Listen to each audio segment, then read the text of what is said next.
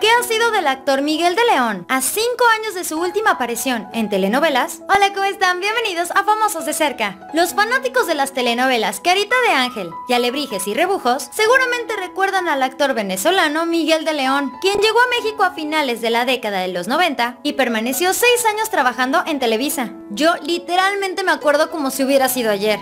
Estoy 100% segura que me acuerdo perfectamente de la letra de las canciones de estas telenovelas. No se las canto nomás porque este video tardaría muchísimo tiempo. Pero mejor vamos a saber más acerca de la vida de este actor. De León es originario de Caracas, Venezuela, donde nació el 23 de febrero de 1962. Su interés en la actuación nació en 1982, cuando él comenzó a estudiar en talleres de teatro. Aunque él era muy popular en Venezuela, su rostro se hizo súper mega archi recontra popular cuando protagonizó Carita de Ángel, esa telenovela infantil mexicana que fue un rotundo éxito. En esta historia, producida por Nicandro Díaz en el año 2000, actuó junto a Daniela Aedo, Lisette Morelos, Ana Patricia Rojo y Nora Salinas. Su nombre también alcanzó la fama cuando acompañó a Jackie Bracamontes en el protagónico de la telenovela Alebrijes y Rebujos, donde le dio vida a Antonio Domínguez, padre de Sofía Domínguez, mejor conocida como La Chofas, personaje interpretado por María Chacón. Sin embargo, su primera vez en la televisión mexicana fue en La Usurpadora, telenovela protagonizada por Gabriel Spanik y Arturo Peniche.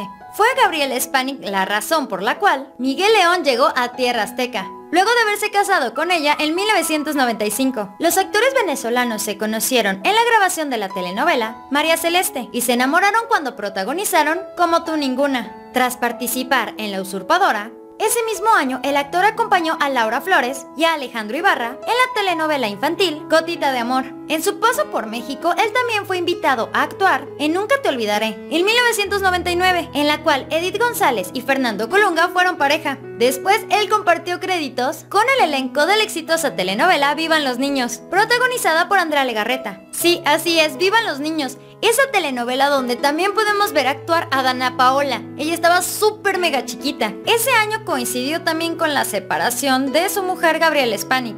Antes de regresar a su país, Miguel de León actuó en Mariana de la Noche, en la que interpretó al ingeniero José Ramón Martínez.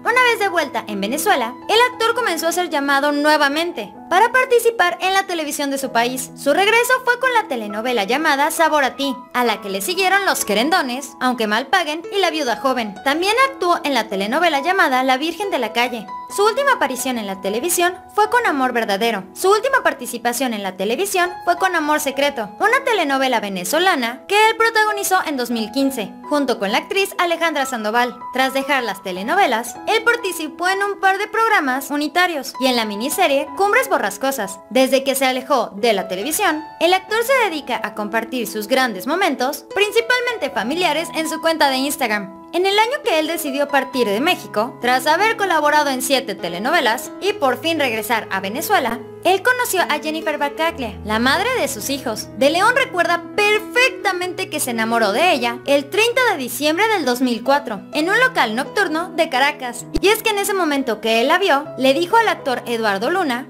ella es la mujer de mi vida. ¡Qué barbaridad! Imagínense, él recuerda exactamente el día que se enamoró de ella. Algunos de nosotros ni siquiera nos podemos acordar de nuestros aniversarios, cumpleaños o fechas importantes. Y él se acuerda del día que se enamoró de ella. No sé ustedes, pero a mí se me hace un detalle bastante tierno.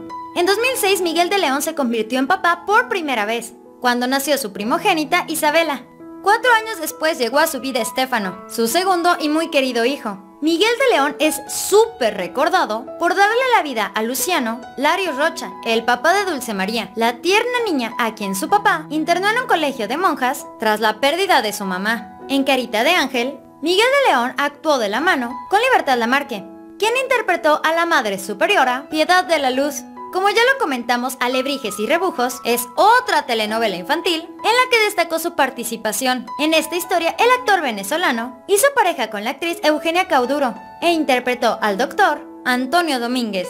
En esta historia, el actor compartió créditos con Jacqueline Bracamontes, quien encarnó a Angélica Rivas Márquez. Y es que vamos a retroceder un poco el tiempo. Y cuando digo un poco me refiero a bastantes años. El primer episodio de Alebrijes y Rebujos se transmitió el 4 de agosto de 2003 y aunque no lo creas, tuvo la cantidad módica de 135 episodios. Yo me acuerdo haber estado súper mega enamorada desde entonces de Diego Boneta. Y vale la pena mencionar que el chaneque me daba muchísima risa. Esto fue Famosos de Cerca. Dale like a este video y dinos aquí abajo en los comentarios si tú eres alegrije o rebu... No, no te creas, es broma. Dale like a este video y dinos aquí abajo en los comentarios ¿Tú qué opinas acerca del actor Miguel de León? ¿Te gustaba cómo actuaba? ¿Te gustaría que regresara a la televisión mexicana? Dímelo aquí abajo. No olvides darle me gusta a todas nuestras redes sociales. Nos vemos muy pronto. Bye.